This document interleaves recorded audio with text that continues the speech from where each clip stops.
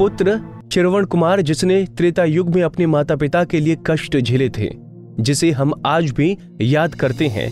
वहीं जमशेदपुर में भी एक दूसरा पुत्र श्रवण कुमार है, जो ना जाने कितने युवाओं के पिता को पाकिस्तान की जेलों में बंद है।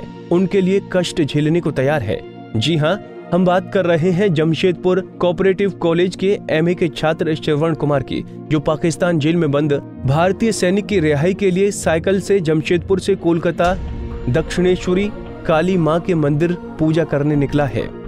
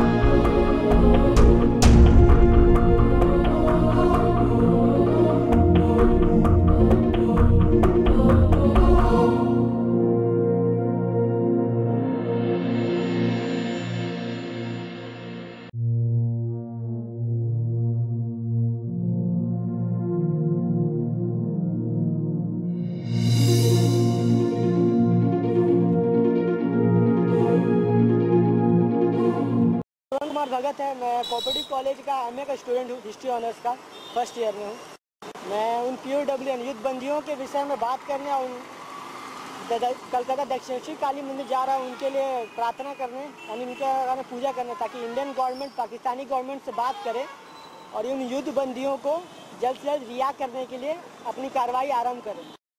तो यहाँ से खड़गपुर जाऊँगा, फिर कलकत्ता जाऊँगा, दक्षिण काली तो तीन से दस है, लेकिन मैं दो सत्तर मान के चल रहा हूँ। है मतलब कि जो युद्ध बंदी है वो आज भी पाकिस्तानी जेल में बंद है। उन्हें उनके घर जाना और पहुँचाना बहुत ज़रूरी है। और ये बात कहना है बहुत अच्छी लगती है कि ब्रिंग द हीरो बैक वो एक हीरो है और वो पाकिस्तानी जेल में बंद है।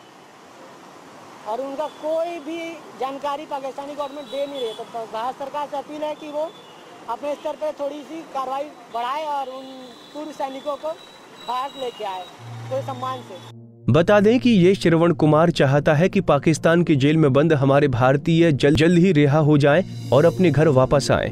इसी के लिए श्रवण ने ठानी है कि वो साइकिल से कोलकाता जाए और दक्षिणेश्वरी काली माँ के मंदिर पूजा में जेल में बंद भारतीयों की रिहाई की प्रार्थना करे। साथ ही श्रवण का कहना है कि इसको लेकर भारतीय बुद्धिजीवियों को आगे आना चाहिए। पंजाब केसरी टीवी के लिए जमशेदपुर से इंद्रजीत सिंह की रिपोर्ट।